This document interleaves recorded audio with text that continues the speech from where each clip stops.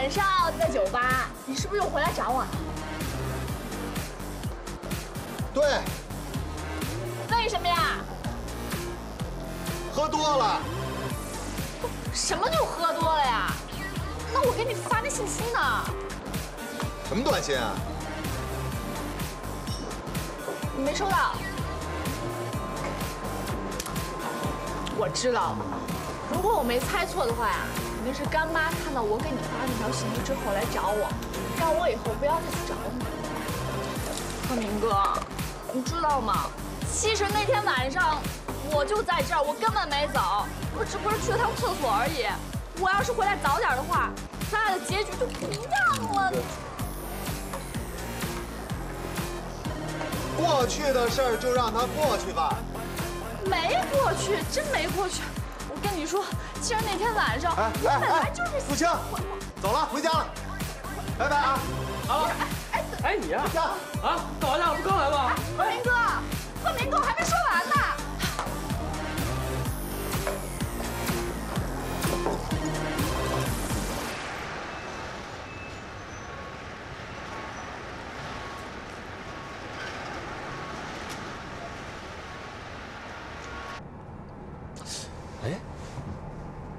还没喝呢，怎么就走了呀？啊？啊，没带钱。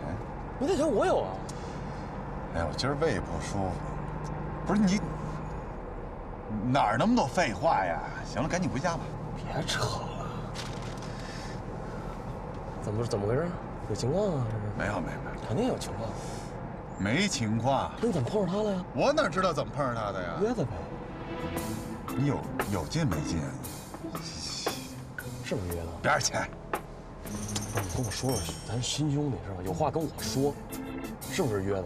不是，我不告诉你。不是。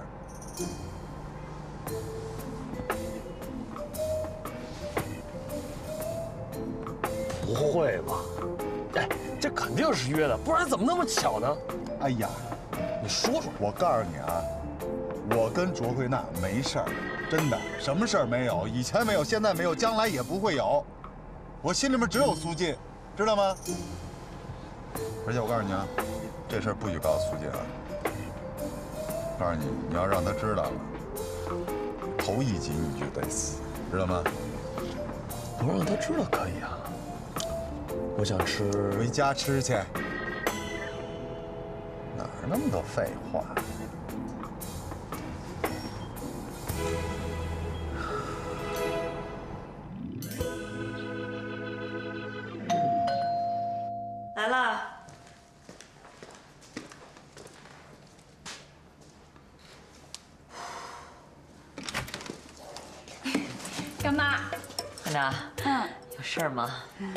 我也没什么事儿，我就是想您了。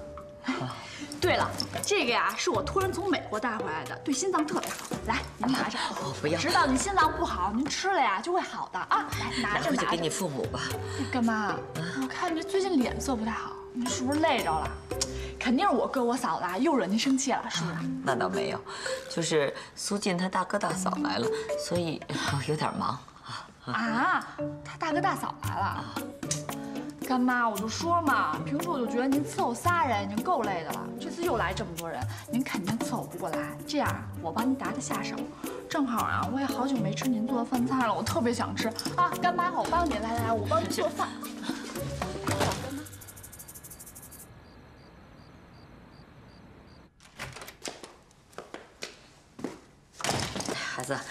些芹菜叶呢就不要了啊，嗯，只吃杆儿。知道了。阿姨，我回来了。哦，哎呦，这谁呀？这个气质这么好，哎，没见过呀。阿姨，这是您哪家的亲戚啊？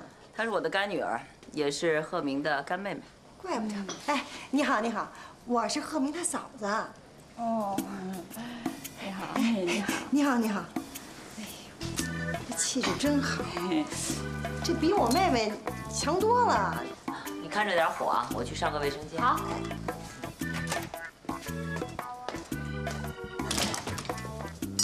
妈，我回来了啊！哦，贺明哥，你回来啦！哈尼阿塞哟。你怎么来了？我怎么能来啊？我来看干妈呀。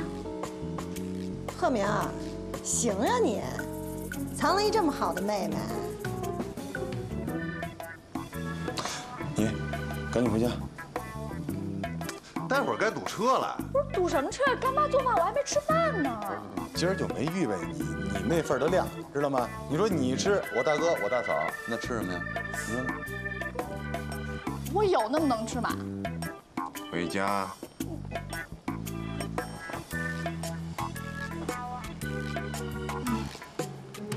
好吧。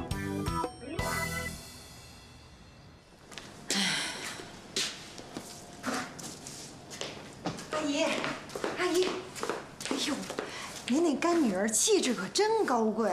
您知道，在我们县城，那打着灯笼都找不着这么好的。人都走了，你就别再拍马屁了。哎，我说怎么没听你嘴里夸夸苏静呢？苏静才是你妹妹啊，给你忙前忙后的。我其实真希望别人多夸夸我的儿媳妇。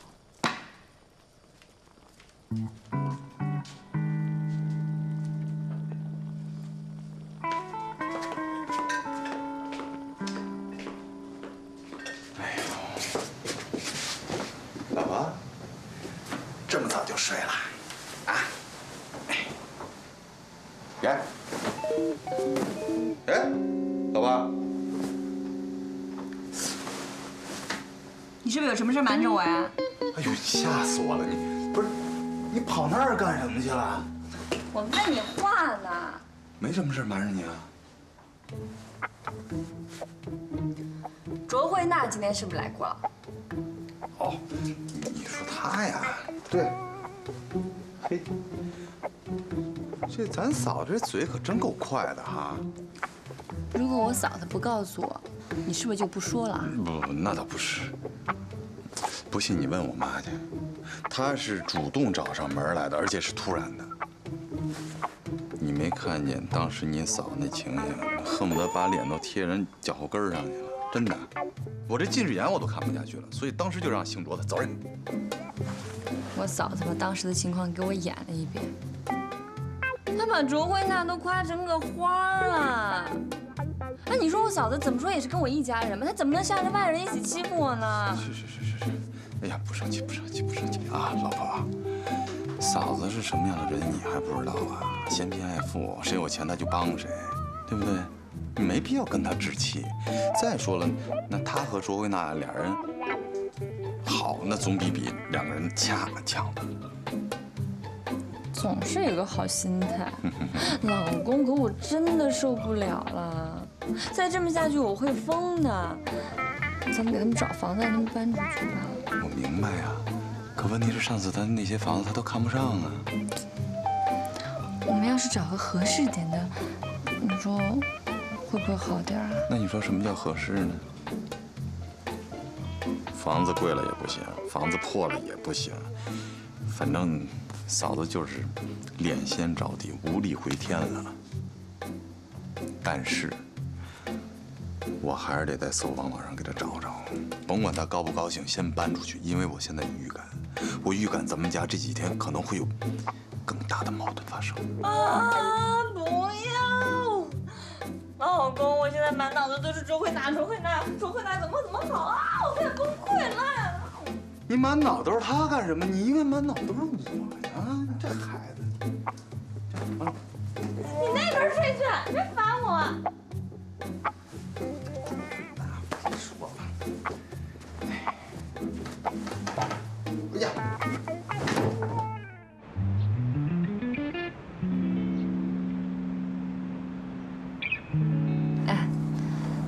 现在有没有空房的租啊？我没注意，应该有吧。姐，你是给大哥大嫂找的吗？对啊。其实我也不是急着要把他们赶走，你说大家是一家人，我们现在还有空房子，大哥这样我应该好好照顾他。可大嫂实在是，大哥每天拦着他，也拦不住，他整天给我们掉脸子。而且，我本来想吧，缓一缓再说，可是我婆婆已经找我谈话了，她虽然没有直说，可她的意思呀，就是大哥大嫂已经严重的扰乱了她的生活。那我们家毕竟是婆婆做主啊，那她都提出来了，那这事不管，那我日子以后怎么过呀？好在现在大哥已经有工作了，我就想，要不然分出去过算了。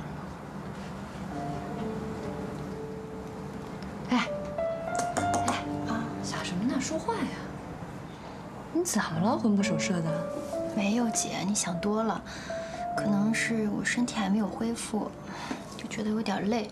你身体没恢复，你干嘛出院呀？好好在里面养着呗。哎，我告诉你啊，现在父母不在身边，你有什么事你一定要跟我说，听到吗？我会的，姐。你想让大哥大嫂搬出去？哎呀，这大嫂可不简单。姐，我知道你的苦楚，但你怎么跟他们开口啊？那大哥是明事理的人，那万一大嫂以为你要赶他们走，那可就不好办了。就是这么说呀。我前两天带他们去看了房子，大嫂一百个不同意。那我现在就想，有什么法子能让他们自己离开？可我这不是想不出来吗？哎呀，我都做公关这么多年了，这点问题真的是难住我了。真是清官难断家务事啊！这要是在公司做工作就好了，一切都有合同，可以平等约束。你是说像我那个婚前协议一样？其实人情之间要真的加上那些条条框框呀，什么都变味儿了，而且会越来越乱。你看我现在焦头烂额的。唉，那怎么办呀？你教我的那什么空城计啊、声东击西啊，都用不上了。声东击西。能用上啊，姐，大哥现在上班应该还没回来。那大嫂呢？今天是上夜班。那家里只有大嫂和你的婆婆。走，跟我回去。去哪儿？哎呀，看我的！走走走，走了。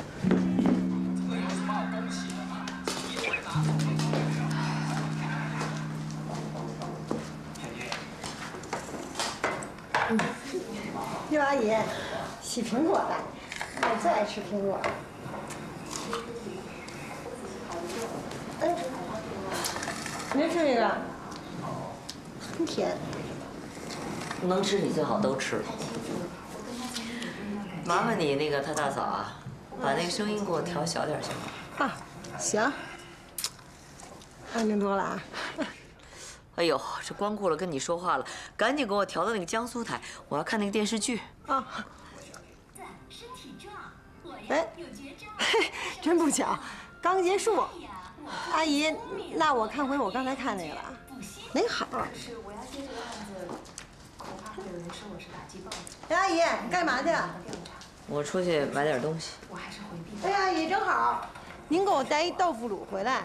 我跟苏勇都吃不惯您家做的饭，太淡了。哼，我去这地儿啊，好像没有卖豆腐乳的，只有卖北京臭豆腐的。你吃吗？哦，也行。有咸味儿就行。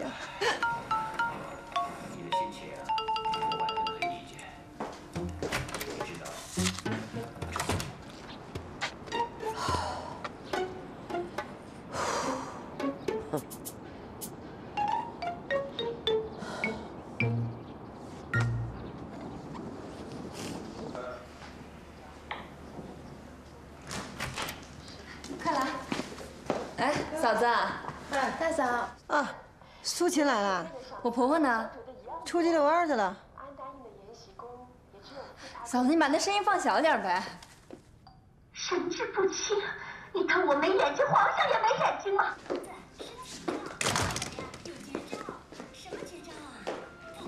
哟，还买东西，真不客气。你说你来就来吧，放这放这。我看这是什么呀？哎。这个我们超市里有，不便宜呢。我还是回厨房真好，太客气。这适用人群，中老年。你什么意思啊？啊？送我中老年，你嫌我老啊？哎哎，嫂子，这两天我婆婆睡眠不太好，那小琴就想着给她买点补品什么的，这还没来得及跟你说，你就自个儿拿过去了。什么叫我刚才拿过去的呀？你呀，说话呀，别拐弯抹角的。你不就是嫌我和苏颖住在这儿，影响你婆婆了吗？啊，让她睡不好觉，吃不好饭。这刚才不还是嫌我电视机声音开得大吗？可你说这洗衣机用几年都得出问题，就别说你婆婆年龄大了，怪别人真是笑话。嫂子，嗯，我婆婆平时她是有点苛刻，可她说的也没错啊。你这电视声放的确实太大了。别说的有的没的了，你不就是在城里待的时间长，嫌我们是小地方来的，看不起我们？我哪是这个意思啊？哎，哥，谁来了？苏勇，你可算回来了。你看你那俩妹妹，合着起来的欺负我。怎么会呢？嫂子，我们哪敢欺负你啊？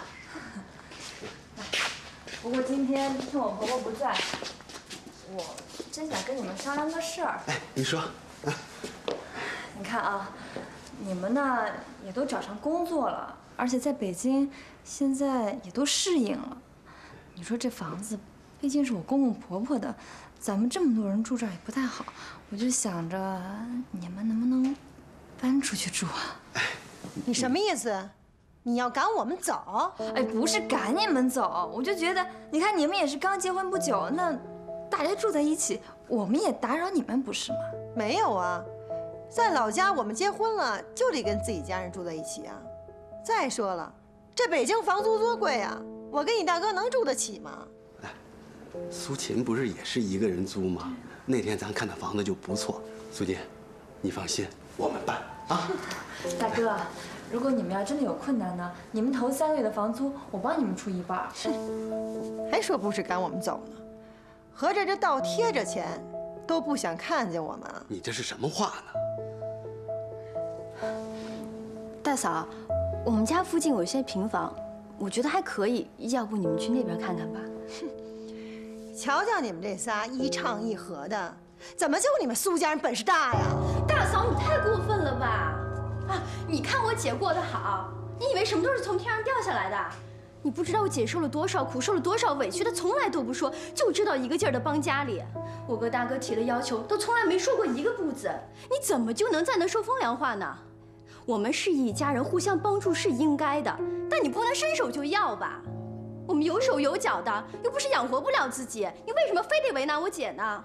大嫂，我知道你有难处，可谁没难处啊？我们都要生活，我们都要应付一些我们不该应付的问题。这些问题都是我们自己造成的，也怨不了别人。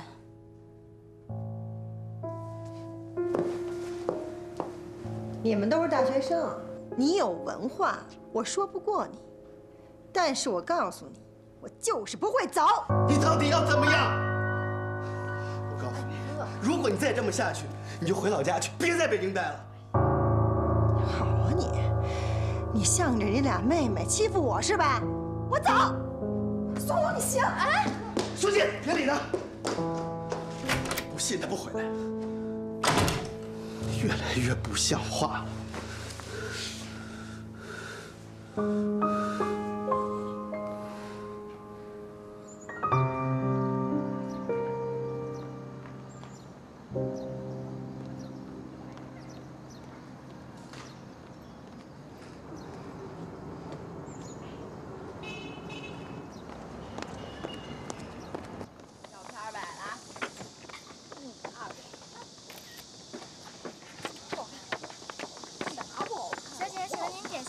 啊，不用，我不渴。小姐，在这坐一定要点些东西的。哎，我就坐会儿。哎呀，不好意思，这是我们的桌椅。这首都人怎么事儿这么多呀？我不坐。我把眼镜戴上。来，二三。嘿嘿，妹子，嗯，看我这眼镜怎么样？挺好的呀。山寨的。真的？我买山寨货。山寨货怎么了？山寨货。哎，我真的没出去，我没听得出来。我呸！市长。错哎，好冷。哎，这蛋还不错呀，就是不错，根本看不出来啊，看不出来。卓小姐，嘿，贺明的妹妹，我是他嫂子赵静啊，你不认识吧？嗯，你真是这越来越漂亮了。你看她戴着眼镜多大气啊，特配你。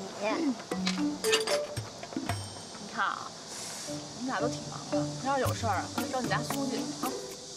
我这不是找不了他吗？哎，正好今天你在，你给评评理。你说这世界上还有这么狼心狗肺的人吗？这苏进要把我和他大哥从他们家里赶出去，我可是他亲嫂子。说什么？苏静要把你赶出去？可不是嘛！我跟你说，这张鹤鸣连句话都没说。要我看呀，这一家人也没把苏静当回事儿。你说，他来了城市里，他就是城里人呀，有什么了不起的呀？真是。嫂子呀，你说的对，你可千万别往心里去啊。是。其实啊，你还记着吗？咱俩第一次见面的时候，我就觉得你这性格吧，特像咱北京人，特大方。看咱嫂子这衣服，时尚吧？那是。真的？哎呦，我也觉得是。我觉得你脸上吧缺点东西。啊？我脸上缺点东西？缺什么呀？你这脸上吧，就缺这么一墨镜。嗯。哎呦喂，真的？真的？哎，你看嫂子戴这墨镜多有国际范儿，是不是？国际大发了。真的？必须的呀。哎呦喂，嫂子，这墨镜啊，就算我送你见面礼，拿着啊。真的？哎呦，这这名牌吧？这个？肯定是名牌啊，是不是？太贵重了。你人太好了，你都不嫌弃我们，比我那亲戚都强，真的。别别别啊，嫂子，这个呀，就算我送你见面礼。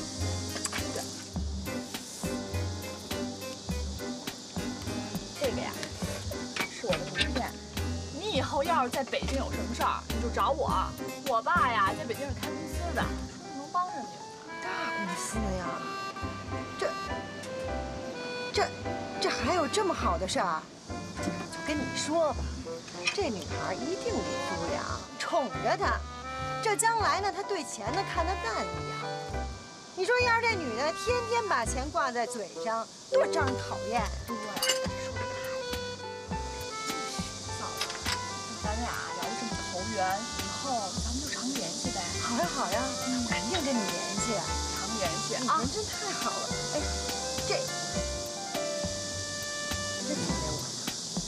送给你的。哎呦，拿着啊。哎，那我真不客气了，别客气啊。你看，这要是没有什么事儿的话，你走着吧。啊啊，也行也行。哎呦，送给我了。哎呦，我真是送给你的，嫂子。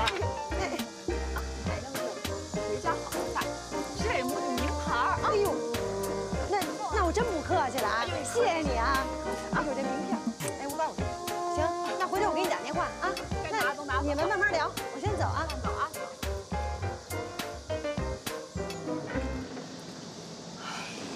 谁呀？土包子，苏金大嫂呗。难怪，还真是如出一辙呀。那是，他以为他自己有多识货，其实啊，他就是个不识货的大傻瓜。不过呢，这种人呀，利益熏心，但是啊，可以为我所用。哟，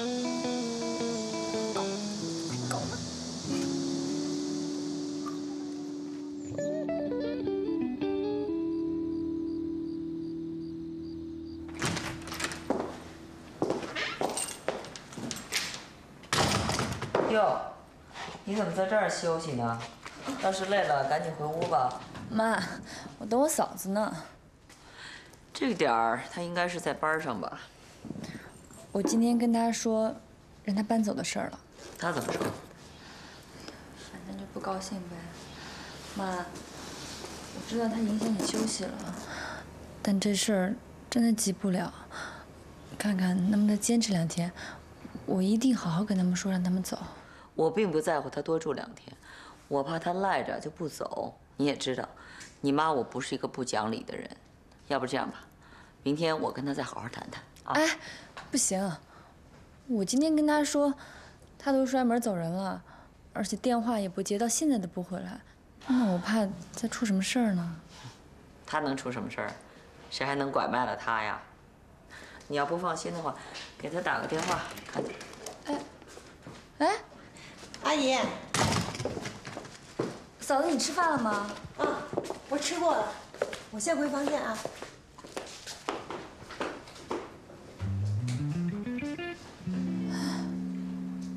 真没什么事儿。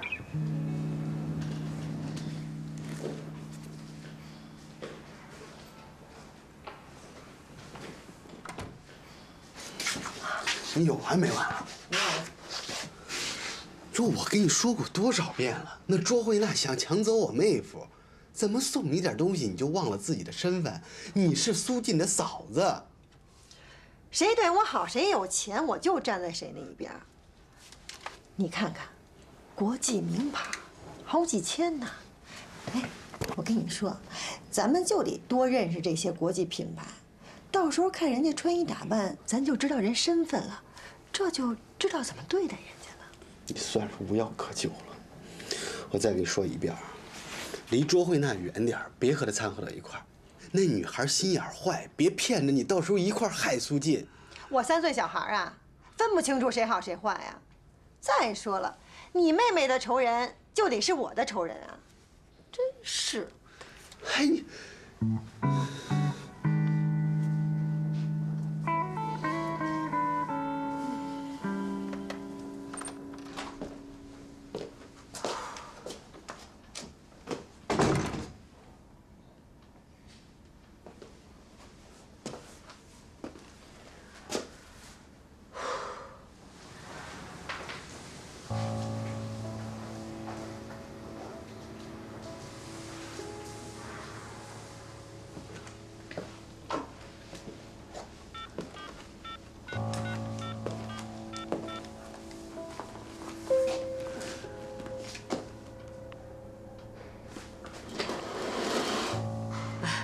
王主任，我李雪芝，哎，我跟您打听个事儿啊，那个，您那边还有空房子吗？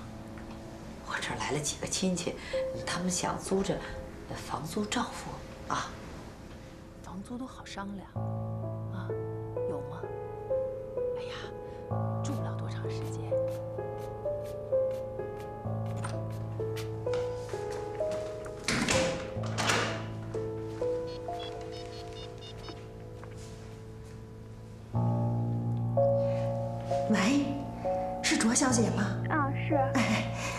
我是苏静她大嫂啊。那天你不是说要是有什么事儿可以给你打电话吗？啊，你说。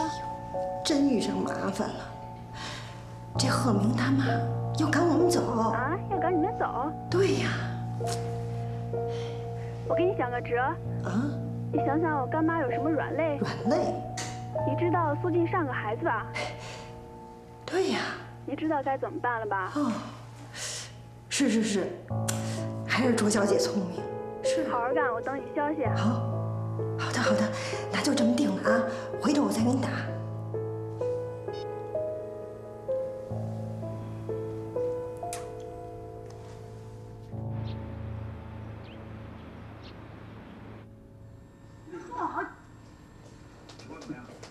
哎，苏晋，这《甄嬛传》哪台呀？怎么找不着啊？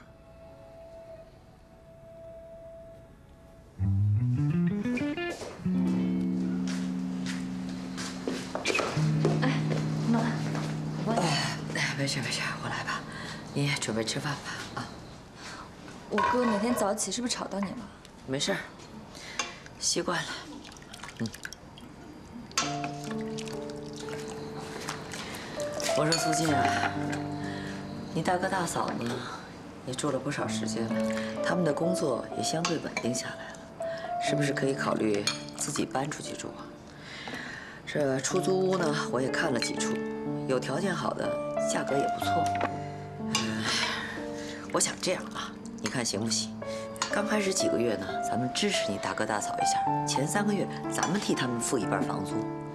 如果行的话，真的明天就可以搬。我有一个老战友啊，他退休了，跑去跟女儿住去了，房子呢空着，条件也不错。你说呢？行，那我跟他们说一下，明天搬。你看吧。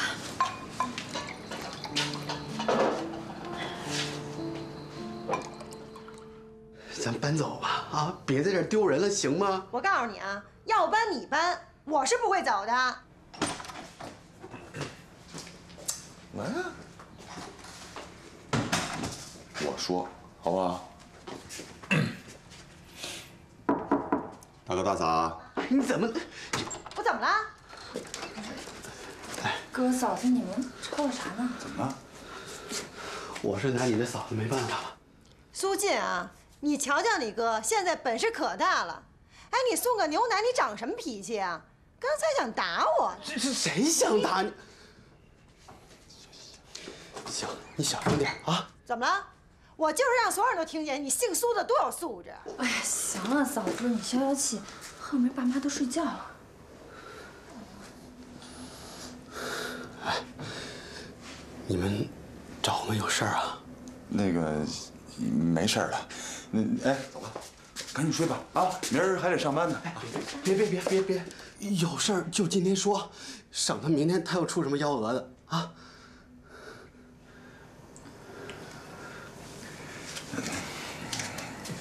不是，哎呀哥，嗯，是这样，我婆婆呢有个朋友，他正在出租房子，挺便宜的，地段也不错。你们这要搬过去呢，头三个月的房租我婆婆也说了，让我们出一半。如果要搬，明天就能搬。你什么意思呀？你是想赶我们走是吗？我告诉你，你就是把所有的房租都付了，我也不走。自从我跟你大哥一搬进来，你就张罗着轰我们走，你什么意思？瞧不起我们，嫌我们给你丢人了是吧？苏进，哎，你有没有良心啊？我都不嫌你哥瘸，你就更没资格嫌你哥腿瘸了，知道吗？你说什么呢？我什么时候嫌弃你们了？那墙上的婚约你可是看见了，我的家人来不能超过一周，你们这住就是大半个月，我你让我说完的。我婆婆又给你们做饭又洗衣服，她什么也没说。那我也有我的家庭，我也有我的生活，我只能做这么多，你让我怎么办呀？你也有家庭，好啊，苏静，你可是我老公的妹妹。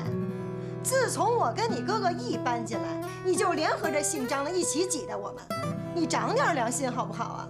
但是我告诉你，我就是不会走。哎，你你你怎么能这么无赖呢？你我怎么无赖了啊？怎么无赖了？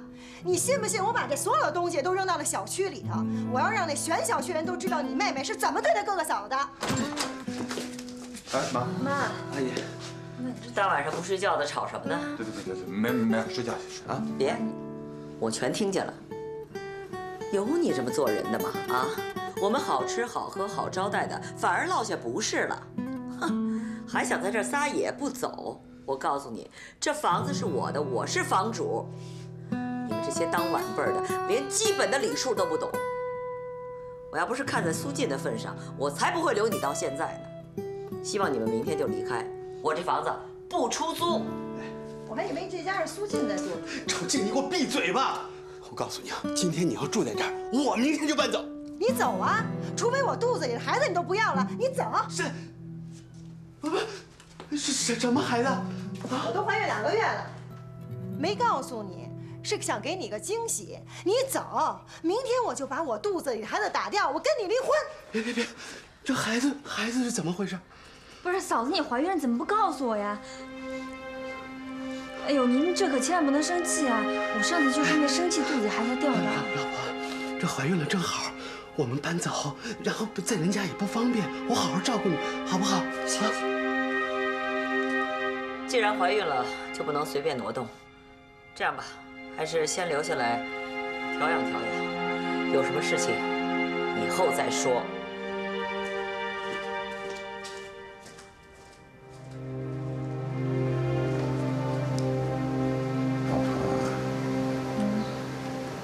你说大嫂她真怀孕了？不然呢？她这么老奸巨猾一人，不会是玩什么阴谋诡计吧？内练一口气，啊，外练一口屁。嫂子虽然平时有点过分，但我这回相信她。你确定？当然了，这可是个孩子，我们都是女人，谁会拿孩子开玩笑啊？大嫂靠得住，母猪能上树。说什么呢？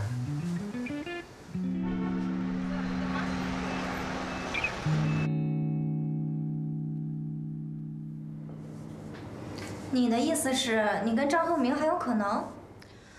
不是有可能，是这一次啊，我绝对不会再放弃他了。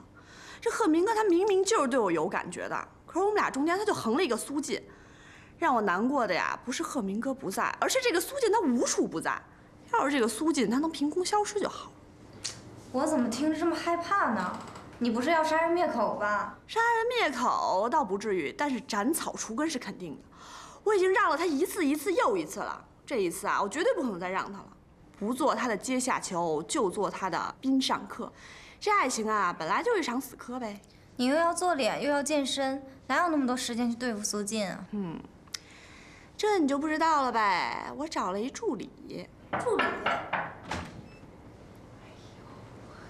照镜吧。哎哎，对，是我。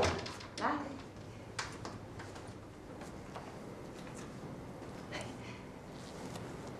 卓小姐，不是那儿，是这儿，过来。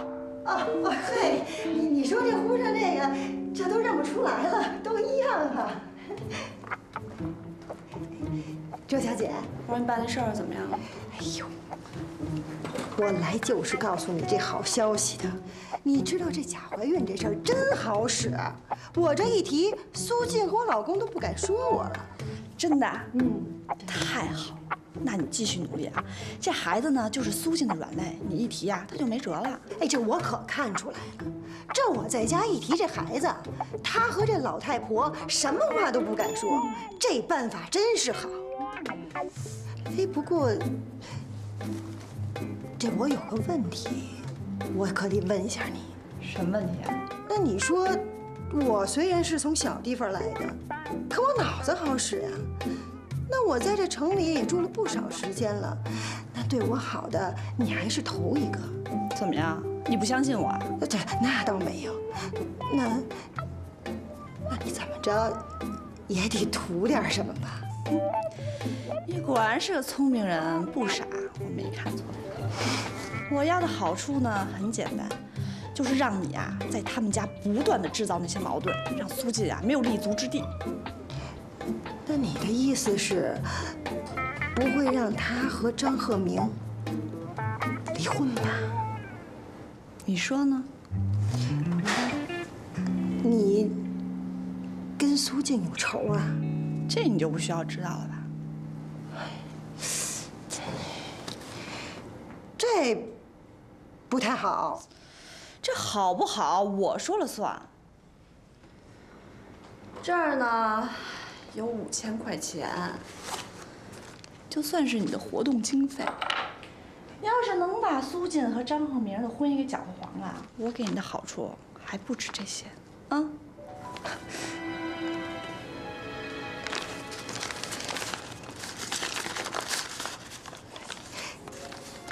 这真是给我的？给你的呀，拿着吧，啊。哎呦，你你你，你看这这。哎呦这这这这也忒不合适了，这个。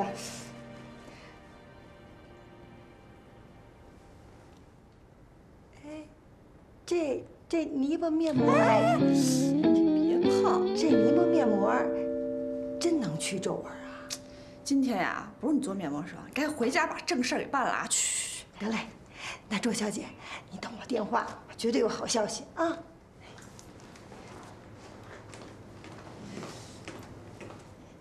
卓小姐，要是我把这事儿办成了，你也得带我做个面膜啊！去吧，去吧。哎，那我先走了。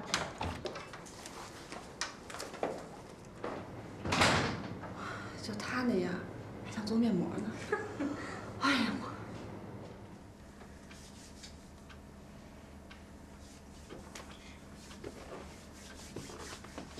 哎呀！哎。我说你这脑袋上扣的什么呀？哎哎，我问你话呢。你这是，哎，你没听见啊？啊？啊！跟你说话。跟我说话呢？啊，对对对。哎呦，你这干嘛呀？哎呦，这太管用了！我还真是什么都没听见。这不是他大哥大嫂不走了吗？我自己得研究一个防噪的装置啊，看挺好。嗯。